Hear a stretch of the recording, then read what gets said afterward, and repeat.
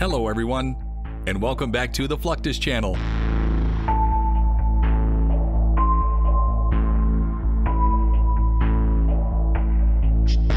During the 20th century, pilots could not eject from a fixed-wing aircraft. Back then, pilots relied on other means of escape in emergency situations. They resorted to jumping from the aircraft and deploying the parachute themselves. This method was highly dangerous and often resulted in casualties.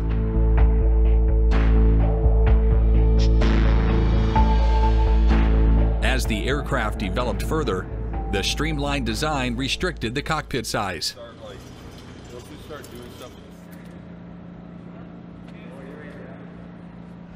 It was nearly impossible for the pilots to jump out of an aircraft capable of flying up to 500 miles per hour.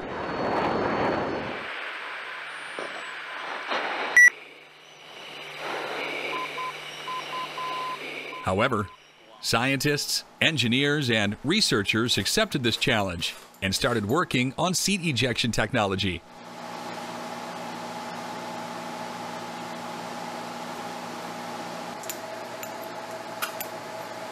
Martin Baker, a British aerospace company, specializes in designing and manufacturing ejection seats.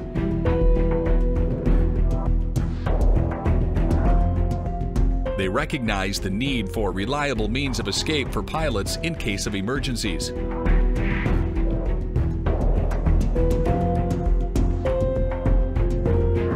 This led to the development of the first Martin Baker seat ejection.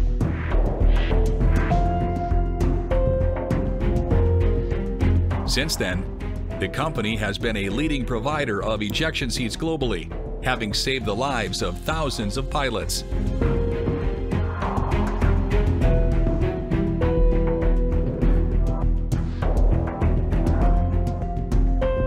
The ejection seats include a system of harnesses, shoulder straps, and leg restraints to secure the occupant during ejection and descent.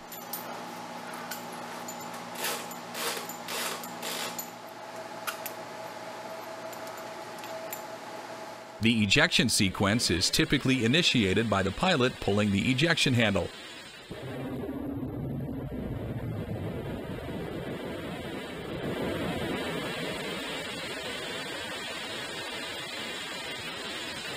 This triggers a series of actions to initiate ejection.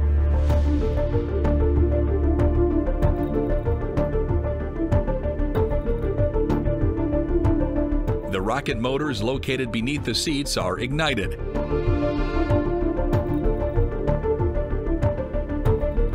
The powerful thrust generated by the rockets propels the seat and occupant out of the aircraft.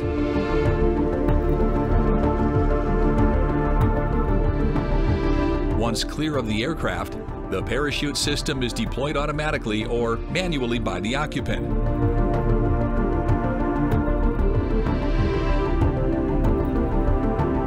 The parachute slows down the descent and provides a controlled landing.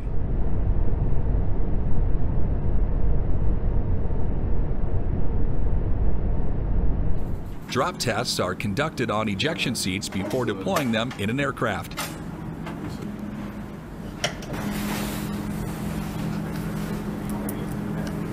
These tests are conducted in specialized test facilities.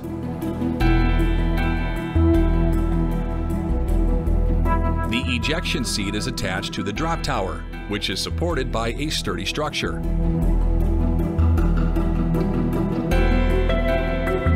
The ejection seat is released from the top of the drop tower, simulating the ejection event.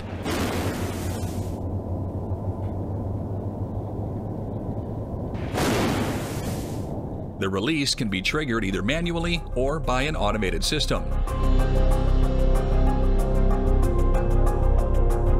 Safety checks are conducted to ensure that all connections are properly secure.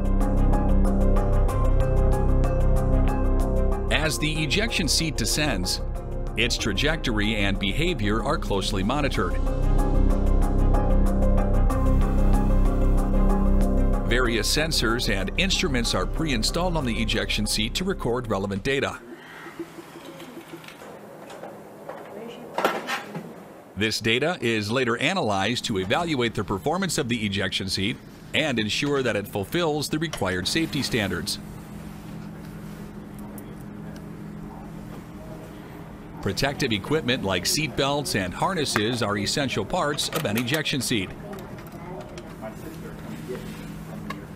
The engineers assess the performance of the protective equipment by using rocket-propelled sleds. Initially, the sled is rapidly propelled along the track by rockets or other propulsion systems.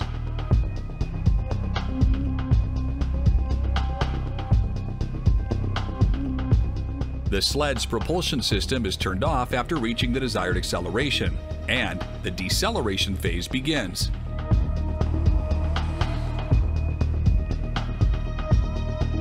This acceleration phase simulates the g-forces encountered during takeoffs, high-speed turns, or evasive maneuvers.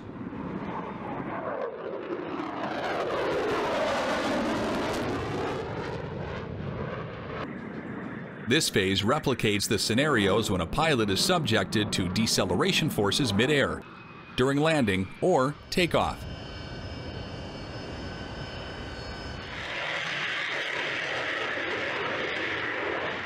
The pilot is equipped with sensors to measure the physiological responses of the human body during the test. This can include sensors for monitoring blood pressure, heart rate, and respiration rate. The data recorded by these sensors is crucial for evaluating the effectiveness of restraint systems and improving the ejection seat design accordingly.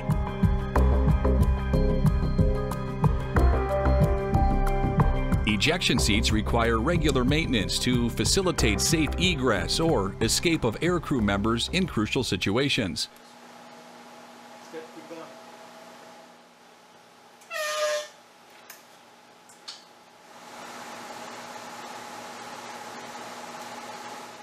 During aircrew egress system maintenance, trained personnel inspect the ejection seats to identify any visible signs of damage, wear, or corrosion.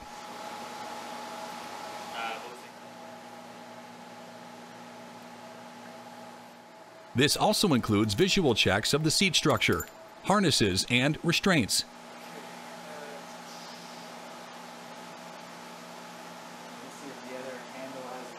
Certain components of the ejection seat have specified service lives.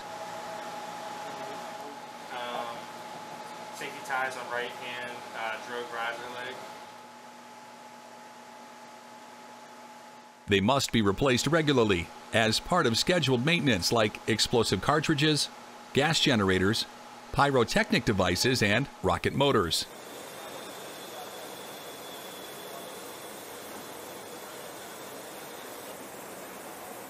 Moreover, the maintenance personnel removes any dirt or debris from the ejection seats that may affect their operation.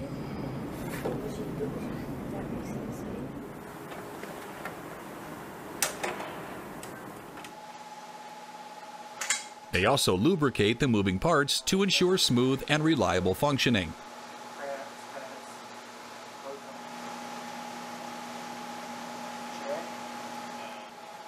At the egress shop, we pull the seats out, take the seats apart, and make any repairs that are needed. So when it comes down to it, the pilots can eject safely.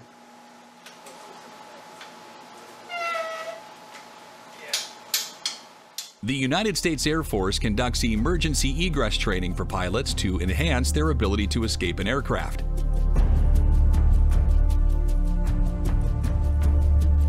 They are taught about other ways to escape an aircraft in case the ejection seat malfunctions. The pilots also partake in parachute descent training.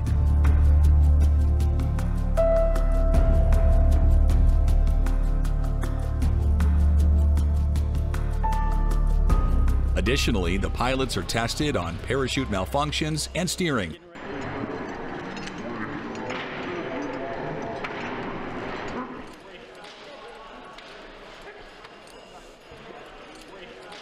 Any pilot unable to clear these tests may temporarily be grounded from flight duties.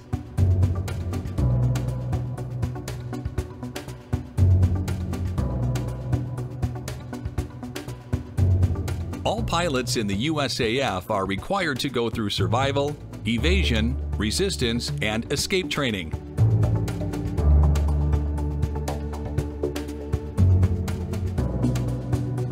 This training simulates what they might experience if they ever find themselves behind enemy lines after ejecting from an aircraft.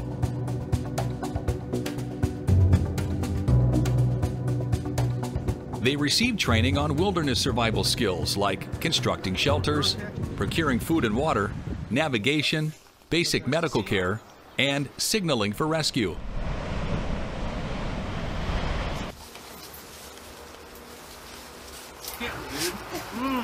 The pilots also receive training on surviving if they land over the water after ejection.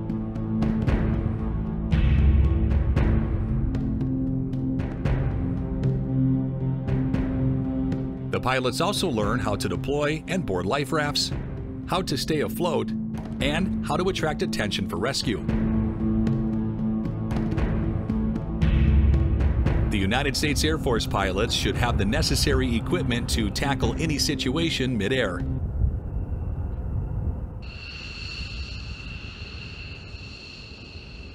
Aircrew flight equipment specialists make sure that every pilot's equipment is up to date.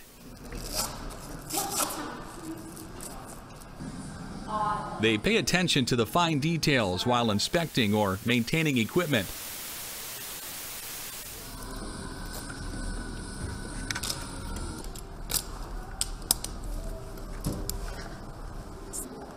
A pilot's safety is their number one priority, so they make sure nothing is overlooked.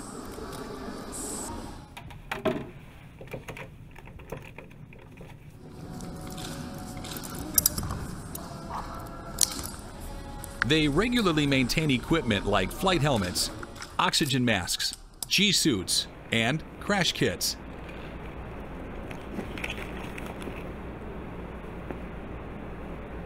Equipment specialists follow a specific procedure for packing crash kits.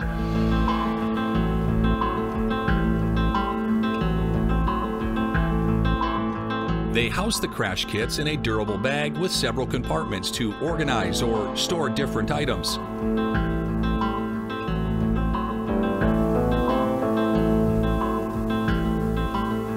A comprehensive inventory checklist specifies the required items for the crash kits.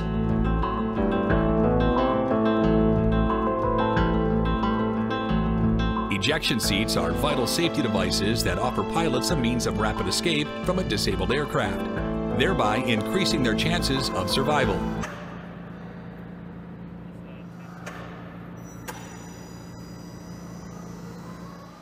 In military aviation, every pilot has to go through before, during, and after ejection procedures in order to be prepared for any situation they might find themselves in.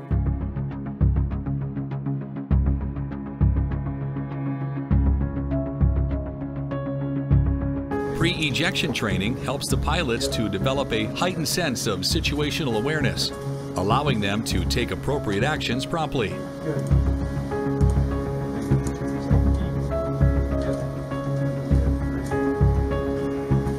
Training ensures the pilots are familiar with the specific steps involved in activating and operating the egress system.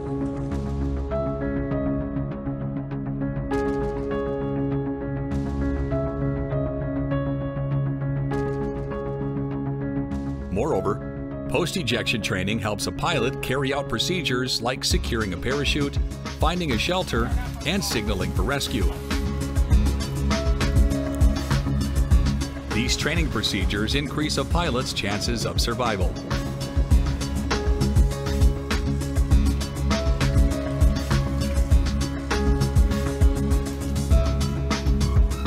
That's the end of this video. I hope you enjoyed it. Make sure to subscribe to this channel so you don't miss any of our new content. See you next time.